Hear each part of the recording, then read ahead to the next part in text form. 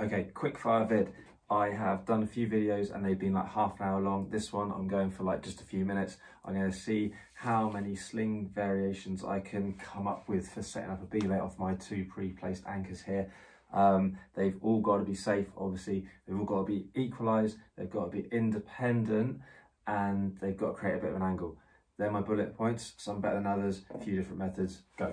Right, first one, uh, clip it in, get that join out of the way. You can see I'm already on the slow-mo here. Uh, next one, to do these up straight away because I kind of have to. I'm not sure if I will for the rest of the video because it'll be a right faff.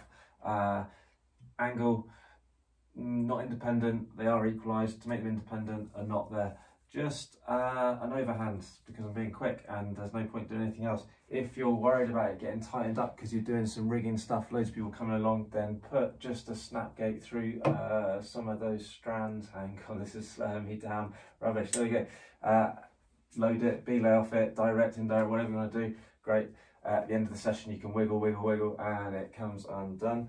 Uh, that's one pretty standard stuff angle's okay but sometimes you might want to do a slightly different method uh, which is probably my go-to one. Uh, measure it out roughly. Do an overhand leave it loose. Clip them in do them up. I'm still being behaving there.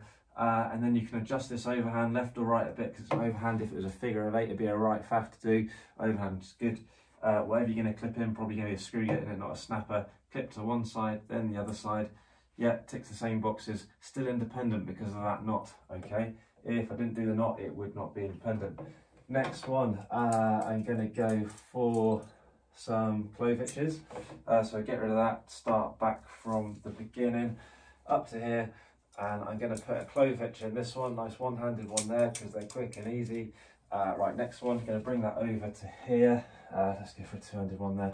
Fold that in, do him up, great went in just about loose okay? I don't want them to affect each other because then they wouldn't be properly independent. Can't clip into there because you get some uh, bad stuff happening if one of them exploded so I've got to do a knot. Just an overhand. Why might I do another knot? Well it's a super skinny six mil sling so I might do a figure of eight a figure of nine. I could even do a clove hitch these are really nice especially in winter when you've got gloves on and uh, you know can hardly feel your fingers. Clip something into that. This works really well uh, and then when it, you've finished uh, and you're stripping it, you can just sort of slide that out. Done. Good. Sometimes wins you a bit of better angle and can extend it down a bit. You can see it's a little bit longer that one, so that can be really nice sometimes. Um, what else can we do? Just with two anchors, obviously, we've got here. I can start to do something that you'll see in some books or on YouTube uh, that might be good for bolts, not so much for trad gear. You can do loop, get out of the way. Clip them in there. Uh, if I just clip into that and one explodes, then it's going to just slide off the end, isn't it? So that's no good. If I put a cross in that one, I can clip into that.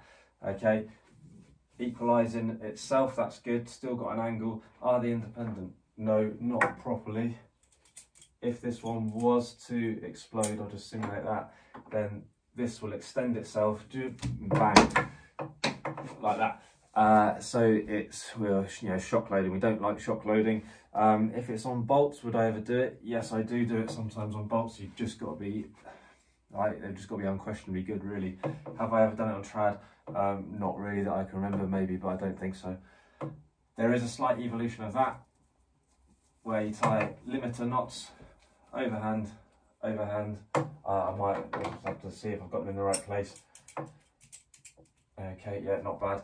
Still do your little cross, get that in, clip. Then if one does explode, that's only going to slide that far. Okay, so that can be quite nice. Again, I'm only going to do it really on bolts. Or if we're getting really like uh, into it, maybe to equalize two bits of gear on, on a pitch, I might do it without the limiter knots, just the little sliding X method is what it's called because um, it's hard to do if you're, you know, other things are hard to do, equalising knots and stuff if you're like holding on with one hand and stuff. Uh, I'm struggling to think of any other sling setups that I can do that would be safe. I'm sure there is something um, with that sling, but that'll do for now. If you found any others, you've got other others in your head that you like that I haven't mentioned, fire them on in the comments underneath. Uh, quick fire sling setup. Oh, how many minutes? That five minutes winning. See you later.